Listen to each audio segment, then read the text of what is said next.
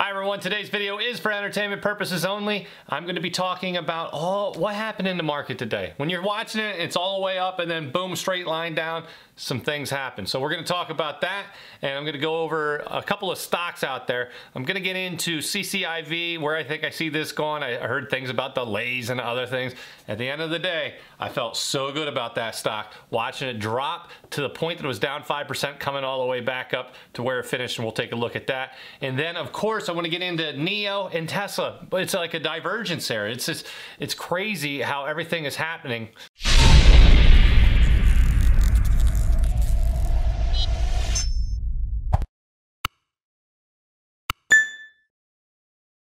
You're new to the channel, I'm Stock Moe. I'm a retired educator. I taught college level and high school level investing, finance, all kinds of good stuff. And I'm also an old financial advisor slash stockbroker. So if you're looking for a channel that you just want to get some good stuff, see what stocks I'm buying, what research I find, go ahead and join that. I have a little subscribe button down here at the OK button, uh, the bell for notifications, hit all. Every time I put a video out there, you'll be notified.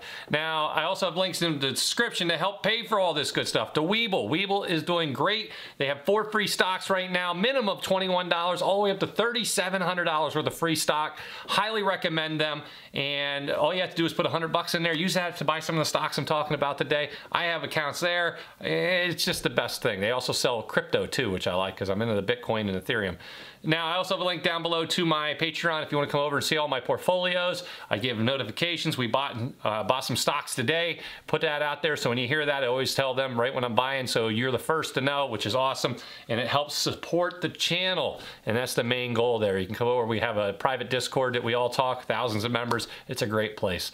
Now, today I wanted to get into some action. Boy, when I woke up today, the market was doing great. I think it was up. My, a lot of my portfolios were doing fantastic. Then all of a sudden I remember looking and it was a straight line down. And I thought, did something happen? Because every time you see that, it's usually something in the news that something happened. There was nothing out there. There was no announcements. There was nothing. And then the, the rumor started. Was this a computer glitch? What is this? What's going on that all the computers go out and they all sell at the same time and you have a massive sell off? Because you don't see that with no news, especially when it's just kind of going steady and then steady and boom and it's usually a statement out there by the Fed or somebody, but there was nothing. I didn't see anything. And so you, you just never know. And that's why I always say you just kind of have to have money on the side, have some cash, and just buy into these dips and take advantage of it. So I did add plug and I did wait till midday because I told you I usually do and I did add that in there and we're going to talk about that. That's for the viewer's choice. I bought plug today and I think it's up since I bought it and we're going to take a look and see how the portfolios are doing. And I'm going to do a quick recap real quick of how the penny stock portfolio is doing. I'll share that with you. I'll let you know when I'm in and out. Right now I love the stocks I'm in and I have no problem with it. I have them. I'm holding them. So if you're like, I wonder if most Moe sold. I will tell you that over at the Patreon. I do tell you exactly, you know, when I'm selling, I tell you right away. So here we go. Let's take a look at the first thing. Here is the new YouTube portfolio. We are only up 2.32%. $373. But you know what? It's on the positive side of the zero, and that's what we're looking for. So it is green. But, you know, NIO came back a lot today, which hurt, and it's down to $59.99 a share. I like NIO, but we're going to talk a little bit about that. And Plug, of course, we bought at $65 a share today. That's what we got in at. It ended at $65.72, so we made $44 already. And that's the patience I like to have, waiting until we get about midday, buying, especially after that drop. I should have bought a little bit earlier when I seen that drop, but I just was, I wanted to see it settle. And after I see the selling and the come back, then I'm comfortable and I feel like it should end higher, which it did. Now after that, I just hold it. Now I'm going to be holding that stock for the year and we'll see how we do. So altogether, we have made $373. You can see the four stocks you have voted on. Two of them are positive, two of them are negative. The only one that's really hurting right now is CRISPR. That is down almost 5%. Like I said, I will hold these stocks for the entire 52 weeks. And at the end of 52 weeks, then I will probably liquidate and we'll restart and do a different kind of portfolio to have fun for 2022. So the next portfolio I did want to share with everyone because I know a lot of people were following along with this is that penny stock portfolio. If you check out my last video, there's a Tesla cat hair floating around. If you check out the last video, uh, I do have what it was at, but right now you can see we are up 34.4%. I started this portfolio Wednesday evening at 3 o'clock. I bought these 10 stocks, and from last Wednesday up to Monday, we are up 32%. Can you imagine putting your money into a portfolio? Four days later, you're up 32% with a well diversified portfolio. These aren't even all in the same industry. These aren't like they're all EVs. They're just there and they're well spread out. You got some energy, you got some recycling, you got drones, you got banking or mortgages. I mean, we did well in diversifying this, and I did that on purpose. And yet, even with the diversified small cap portfolio, the thing's up 32.4%, and it has made 12,957,000 off of a initial deposit of around 40,000, 39,991. So a little under 40K. So I'm happy with this. The returns have been spectacular, and I have a list building of my next moves. I'm going to be adding some new penny stocks this week, and I'm excited about. And I have some value stocks. I'm actually debating starting a value stock portfolio. Now, this isn't a dividend one. There might be dividends in there, but this is what I'm thinking. I'd like to go out and find stocks that have PE ratios under, I would say 15 and under for forward 2021 ratios. And that means they're giving me their estimate of their earnings. I'm going to do some math, figure out the forward PE for 2021, find the value stocks that I think are undervalued compared to the overall market. And that's one that's just one thing to look at. Of course, I'm going to look at some of their balance sheets before I I finally pick them. But to give you an example, I have Rocket Mortgage on here. And we'll take a look at Rocket. So if we look at Rocket, you can see over the last six months, this thing has been sideways. It Goes up a little bit down, up a little bit down.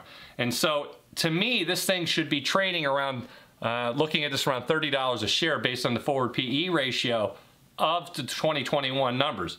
And right now I have that PE ratio of a little over 11. In other words, the stock should be about 40% higher from where it's at now, putting it at around $31 a share to be a, a forward PE ratio of 15, which is fair value and it's not there. So that tells me there's a lot of value in this company. Of course, the reason it's down, a lot of issues with mortgages right now, and I understand, but that's not gonna last forever, and we're gonna get through this pandemic, and things are gonna go back to normal, and the stock should go back to normal. I love this company.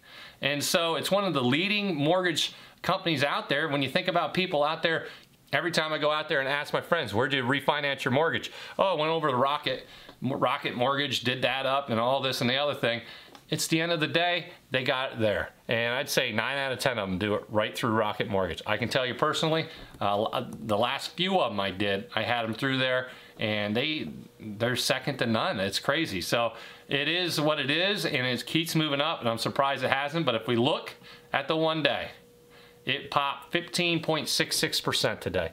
Finally had that pop. It takes a while for some reason. And you look in the thing, no one even knows why. It just did. It's because people out there with the big bucks are seeing the same thing I'm seeing and they're putting it in there. They're piling it in there. And you see that thing pop like this up 15% in a day because they see the value. They know in the long run, a year, two years, even three years, this stock should get back up to the 30 range and higher. And I think as they can continue to make it easier for new homeowners to buy, I'm hearing I'm hearing things out there that they're going to make it easier for them to buy with possible, what was it, $10,000 uh, refunded in tax credit for first time homeowners and things like that. There's these possible things out there.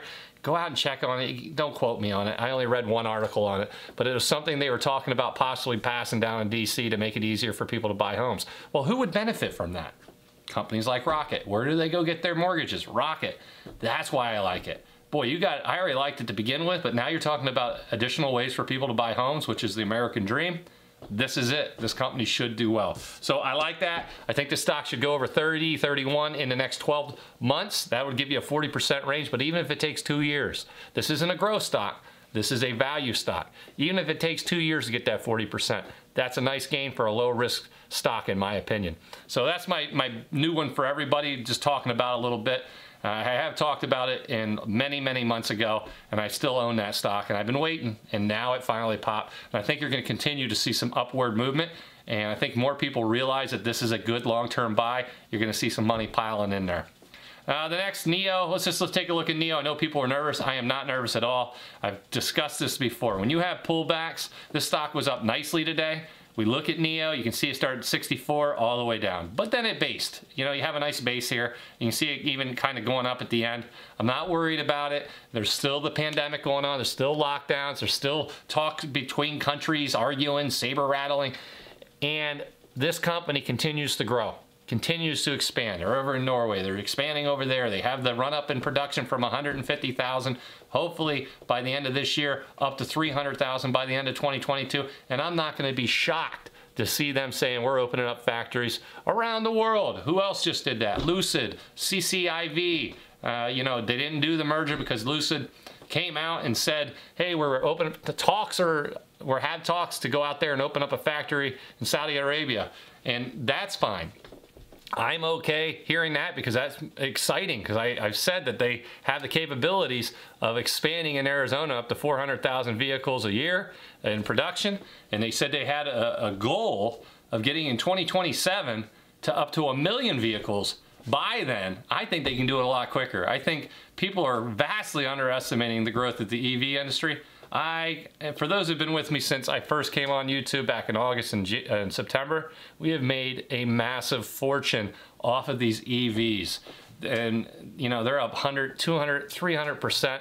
It's because if you can have the vision of seeing where the industries are changing and which ones are going down. The oil's been getting crushed. I don't buy oil. I want to have a, a clean energy portfolio and you know they they've been getting hit bad. Is there opportunity there? Absolutely. I used to trade in oil all the time, but then I kind of moved away from that and moved into some other things such as the clean energy stocks and the EV stocks and some of those and I'm seeing massive returns because I think a lot of the big investors out there are doing the same thing and I think it's going to be kind of a revolution in investing is to let's make the world a little cleaner, a little safer for everyone out there. So we'll see, but there's definitely opportunity. There's a lot of money to be made in these clean energy and these EVs. And if you've been with me since back in August to September, we've done very well. So moving out of that though, you know, NIO is going to have its ups and downs. When we looked at the six months, you can see it all the way down, all the way up. And now we're kind of coming off this new peak and we got to wait. It's going to retest it. I feel good. We're only in January and I put a price target of 90 to 100 on this by the end of the year. That's 12, 11 and a half months from now. So that's only 50%. And I did that back when it was ooh, way back. And I feel good about that. So I have no, no problems with that. I think you're going to continue to see the movement up and down, up and down. But overall, going higher, especially once we get in the second and third quarters of 2021. I think right now you're still in a lot of doom and gloom around the world with lockdowns and the, the pandemics roaring on, new strains are being found. So there's still a lot of issues out there. You got the change of the administration still. We don't know the effects of the bills they're going to try to pass and the stimulus packages, but I do see a stimulus package coming. And I do think it's going to be between 1 and 1.9.